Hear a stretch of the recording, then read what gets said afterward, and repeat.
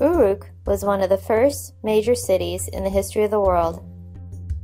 It reached its peak around 2900 BC when it had an estimated population of nearly 80,000 people, making it the largest city in the world. Uruk was located in southern Mesopotamia along the banks of the Euphrates River. It was the center of the Sumerian civilization. It was able to grow so large because of advanced farming and irrigation techniques.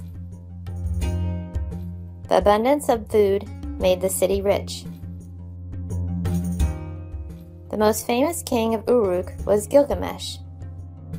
He was later turned into a mythical hero through the tales of his exploits and superhuman strength in the Epic of Gilgamesh.